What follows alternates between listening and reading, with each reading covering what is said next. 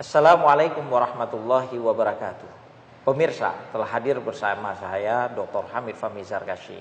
Beliau saat ini adalah pembantu rektor 3 Institut Studi Islam Darussalam Gontor Ponorogo. Dalam rubrik pemikiran Islam ini kita sekarang akan mendiskusikan tentang konsep politik dalam Islam. Uh, Dr. Hamid, ya. sebenarnya sekarang banyak parpol berlandaskan Islam, ada yang juga marpol yang tidak berlandaskan Islam. Tapi sebelum kita berbicara tentang itu, eh, sebenarnya bagaimana hubungan antara Islam dan politik ini seperti apa?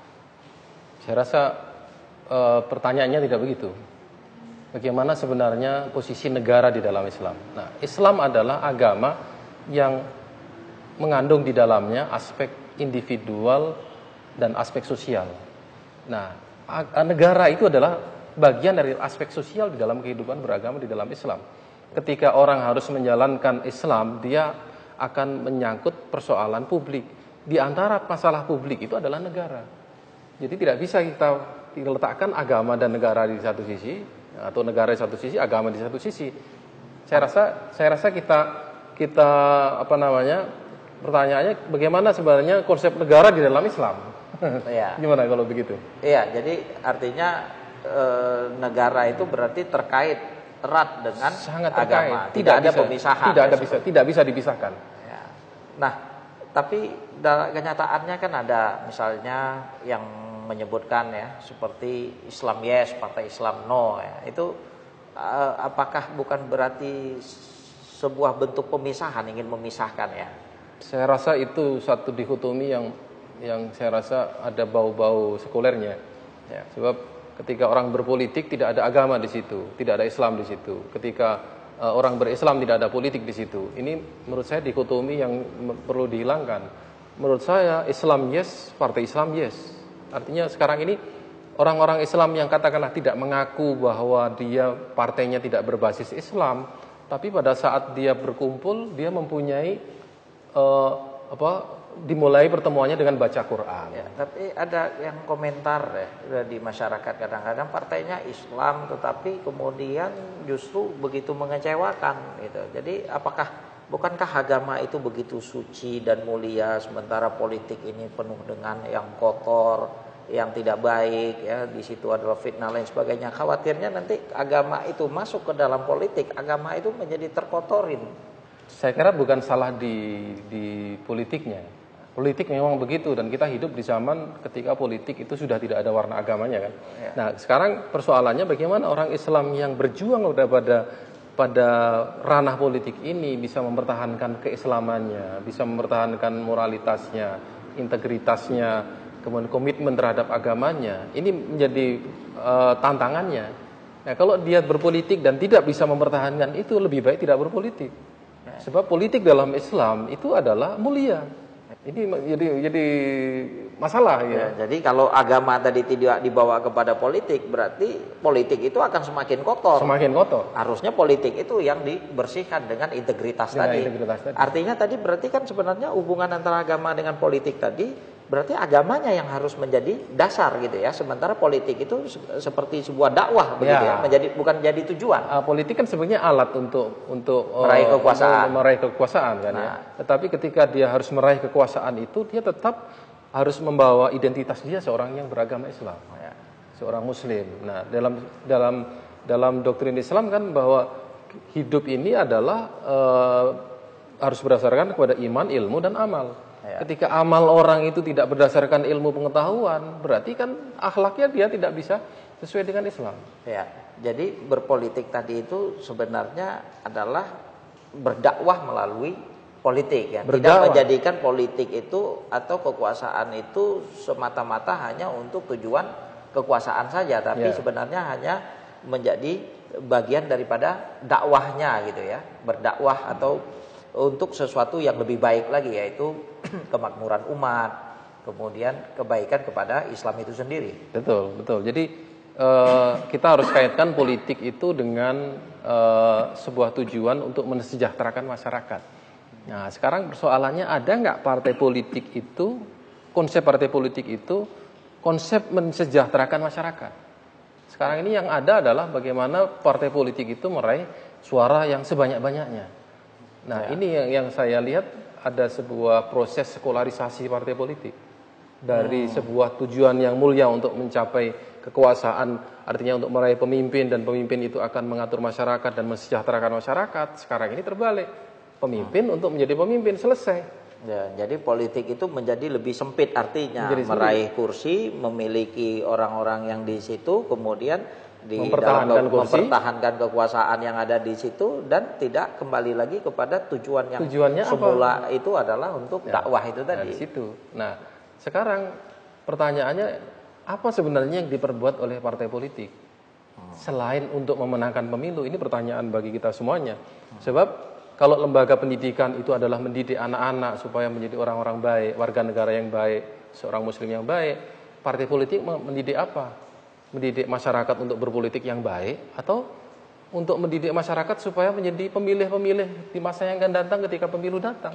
Ini yang uh, apa ada bau-bau sekulernya tuh di situ. Ya, harusnya juga parpol kalau begitu dia mempunyai keprihatinan ya terhadap persoalan umat bukan hanya apa namanya terkait dengan politik saja tetapi harusnya memiliki implikasi kepada kesejahteraan umat, ketakwaan dan keimanan umat ya. Juga ikut menjaga sebenarnya umat daripada kerusakan moral e, dan lainnya begitu. Saya kira lebih luas dari itu.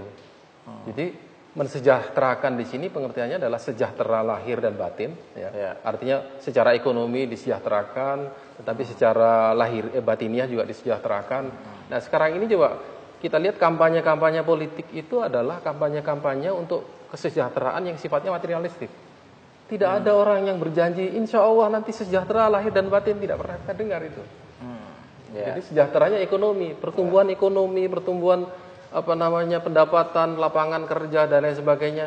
Tidak pernah orang berbicara secara nah, spiritual. Ini kan kriteria yang biasa didengungkan atau yang dijadikan calon itu biasanya kan kalau memiliki tingkat popularitas yang tinggi gitu ya, hmm. elektabilitas gitu ya atau juga kapasitas tapi tidak memperhitungkan bagaimana sebenarnya uh, akhlaknya dan itu yang kadang-kadang hmm. kasus itu muncul ya bagaimana banyak sekali contoh kasus anggota dewan baik itu dalam eh, apa namanya legislatif atau yudikatif atau eksekutif yang pada akhirnya jatuh karena persoalan-persoalan eh, akhlak tadi itu hmm. itu apakah juga karena tadi itu jadi politik itu dipandang hanya sebatas untuk meraih kekuasaan tanpa atau popularitas hmm.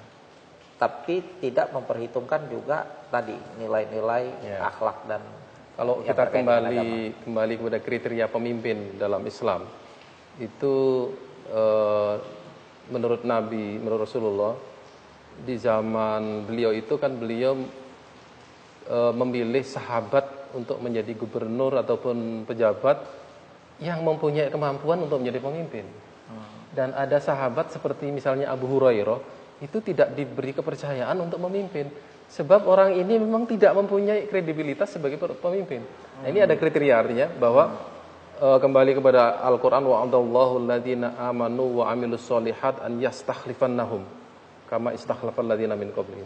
Jadi Allah itu akan memberi kepemimpinan kepada orang yang beriman dan mempunyai amal yang baik. Artinya di sini memanage ya, kalau ditafsirkan itu bisa memanage masyarakat ya, bukan hanya sekedar berilmu. Nah, di sini kita perlu orang yang tidak saja mempunyai keimanan yang kuat tetapi juga mempunyai kemampuan untuk memanage atau memimpin umat. Ya. Nah, di situ kriterianya.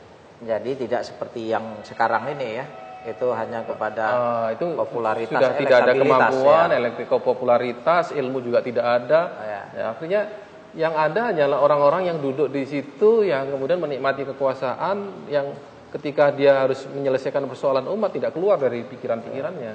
E, menurut Dr. Hamid, bagaimana seharusnya parpol dalam perspektif Islam itu? Pertama, saya melihat ini karena sebuah kelompok ya, kelompok adalah komunitas. Komunitas itu mem harus mempunyai sebuah proses pendidikan. Nah, bagaimana meningkatkan sumber daya manusia melalui kelompok ini. Nah, di sini kelompok ini kan sangat kompleks sekali karena negara itu juga sangat kompleks. Nah, kalau negara yang memikirkan ekonomi, politik, sosial, budaya, eh, agama dan lain sebagainya, maka parpol juga harus memikirkan ini semuanya. kaderisasi di dalam parpol harus sesuai dengan kondisi masyarakat itu. Bukan hanya sekedar orang yang populer dan dipilih masyarakat bisa dijadikan anggota legislatif. Ini ini celakanya di situ. Ya berbicara sih bisa, tetapi apa yang bukan berbicara di Dewan Perwakilan Rakyat ya, tapi ya. berbicara di depan masyarakat dan melakukan sesuatu di tengah masyarakat ini yang lebih penting bagi saya. Mungkin bisa dielaborasi lebih dalam itu apa dampak daripada situasi seperti tadi, artinya ketika parpol tidak terlalu memikirkan kepada sesuatu yang lebih makro ya dalam membangun peradaban eh, Islam kalau kita bicara parpol Islam itu tapi kalau eh, hanya sebatas kepada urusan merebut kekuasaan, kursi, kemudian apalagi di situ terjadi barter uh, kepentingan ya, itu apa dampak yang akan dihasilkan dengan situasi seperti itu? Ya, akhirnya partai politik hanya sebuah sebuah mesin untuk meraih kekuasaan, ya. bukan mesin untuk membangun peradaban Islam atau peradaban yang bisa menjadi rahmat bagi umat. Ya, ini ini yang yang terjadi. Nah, seharusnya apa yang dilakukan oleh parpol adalah membuat proyek-proyek pengembangan umat yang dari situ umat berkembang kemudian percaya dengan paspor itu eh, parpol itu kemudian dia memilih oh, ya. bukan karena hanya kampanye sesaat kemudian setelah itu dia eh, memilih setelah itu selesai apalagi naudzubillah apabila eh, apa pemilihan itu berdasarkan kepada uang Nah, itu sudah tidak sudah tidak siap lagi. Uh, pemirsa, demikian perbincangan kita pada hari ini bahwasanya uh, dalam Islam itu negara tidak terlepas daripada juga aturan-aturan agama. Parpol yang ada terutama parpol Islam tidak begitu sempit hanya untuk memfokuskan kepada bagaimana meraih kekuasaan demi kekuasaan itu sendiri, bagaimana kemudian e, melakukan e, kaderisasi hanya sebatas untuk meraih kekuasaan politik, tapi terlepas atau tidak juga mau untuk terlibat membangun sesuatu yang lebih luas, membangun peradaban Islam, tidak menjadikan parpol itu sebagai sarana dakwah untuk membuat e, sebagaimana tadi diungkapkan oleh Dr. Hamid menyejahterakan umat memberi kemakmuran kepada masyarakat, lahir dan batin, tetap berintegritas, memiliki akhlak mulia, moral yang tinggi, dan mempunyai kepribadian yang kuat dalam berpolitik, dan membawa agama tetap menjadi dasar dan menjadikan politik sebagai bagian daripada dakwah, bukan politik untuk politik, tapi politik untuk menyebarkan nilai-nilai Islam tengah masyarakat, membuat nilai-nilai Islam itu berlaku di tengah masyarakat melalui kekuasaan yang diraih. Demikian perbincangan kita pada hari ini bersama Dr. Hamid Fahmi Zarkashi tentang bagaimana politik seharusnya di dalam perspektif Islam. Terima kasih. Saya Adnin Armas, host untuk acara pemikiran Islam. Assalamualaikum warahmatullahi wabarakatuh.